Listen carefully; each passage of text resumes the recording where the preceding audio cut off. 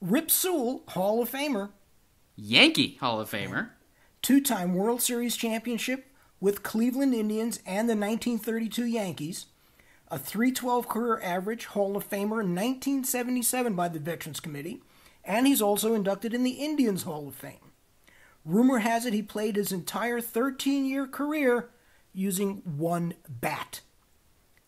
At a, a 40 ounce, he dubbed Black Betsy because it was seasoned with Coke and chewing tobacco juice. That is one of my favorite stories uh, of these cards in the collection. I just one bat and a 40 ounce. I mean, that's a tree trunk.